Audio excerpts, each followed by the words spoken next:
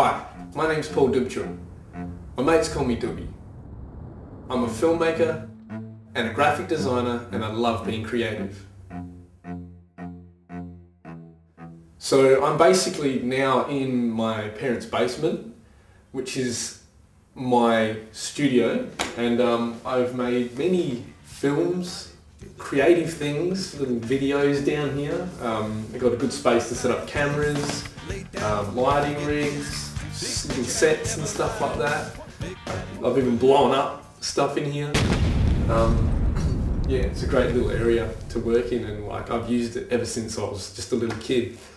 And um, I still use it today. I'm using it right now. Um, most people that know me uh, know I have a massive passionate love for Rage Against the Machine and their music. I love the music itself and I love the message and what the band stands for. They they mean everything to me. They actually split up back in uh, I think it was late 2000 and it was like a seven year split and then they um, reformed for a one-off concert in the um, California desert in Coachella and um, myself and a, and a good mate of mine, um, Sam Print, got together and we actually flew over to um, America, to California, and we actually went out there to see Rage play their first concert in seven years. That was on April 29th, um, 2007. It was two days after my 23rd birthday and it was probably one of the most memorable experiences of my life.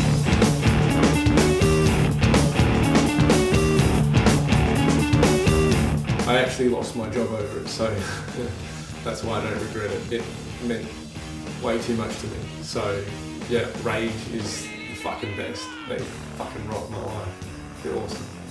After seeing um, Rage play Coachella, we got news that Rage was going to continue playing shows and that they were going to come to Australia and do the Big Day Out tour through New Zealand, Australia. And um, I was quite inspired then just to personally start creating a mural artwork, which I still have downstairs. And um, it was a labour of love and that grew and I got onto the forums, the, the Rage Against the Machine forums and um, contacted uh, a lot of close friends through Facebook and MySpace and the Zack de la Rocha network and also vietnow.org and um, we all got together and a lot of people were very inspired. And I ended up taking it to the Big Day Out organisers called Altered State and um, expressed to them my concept that I was going to make a mural that I thought we could at least have on display in the showgrounds at the Perth show. So at least fans could just check it out and go hey that's cool you know you know, a fan that's quite keen on the band. It's really awesome, you know. Like, and a lot of people were so excited for this, and we were thinking of um, getting donations and hopefully getting that money together, and even selling it off for money for for donations that we could put towards causes that Rage Against the Machine supports. Um, and it was all going ahead. I had Altered State, the organisers of Big Day Out, on board.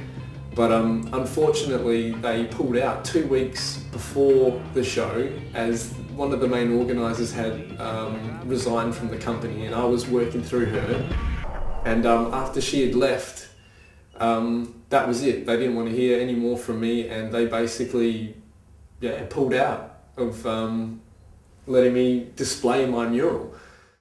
You know, that, that got to me and that really, you know, fired me up because of how far I'd come to create something like that that created so much energy.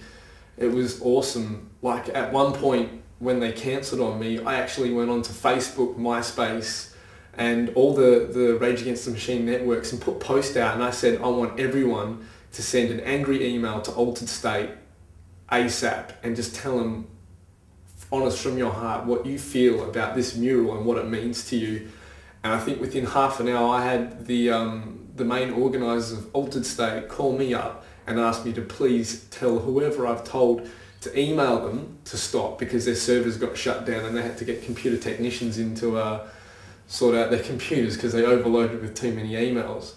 So that was quite cool to see that so many people supported what I was fighting for. You know, it was all just a piece of artwork, you know, that just expressed, you know, my passion and my love for my favourite band. I um, originally started studying um, film and television at Central TAFE in, in Aberdeen Street, Perth.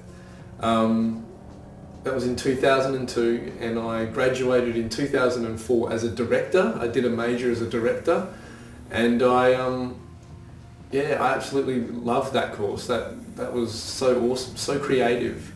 Um, unfortunately, I fell into doing a lot of labour work as soon as I'd left TAFE because the local industry in Perth isn't very strong. The film industry is not, not uh, a, a, very um, productive industry within Perth. It's not, not very large at all and um, it was quite hard for me to crack into that industry. So I ended up just doing a lot of um, private-based projects, and I got a lot of short film work. I got you know little bits of paid work here and there, but nothing really strong to keep me going as such. So I spent three years after I graduated working as a carpenter, and then um, two years after that, I was working for those two years as just a, a labourer for um, the family business at Bergtech. And um, I recently gave that up because I just felt five years pretty much of um, no focus on any real creativity was just getting to me and I, I needed to get back out there. So I've um, gotten back into uh, studies again and I'm actually doing graphic design. There's a lot more industry within Perth, within graphic design as opposed to film and I still feel like I can be creative and touch on those little um, creative interests that I get. So I'm back in the game and I'm, you know, I'm almost completed my Cert 4 and I'm probably going to go for one more year, do a diploma and we'll see where I go from there. But I'll keep being creative. I'm always going to be creative, you know, whatever I do for the rest of my life. I have to, and I'll keep making films. And uh, as a lot of you guys know, I'm working on a production called uh, Dreads, um, Tight Threads, or Feral Heads and Tight Threads. I don't even know the name of my bloody film. But um, yeah, it's it's a project that's evolving gradually. Um, we've got stuff happening. We've got statistics coming in from um, surveys that we're doing, and there will be something coming out quite soon. I hope, you know. And I'm I'm working hard on it, and like I promise you guys, it will happen.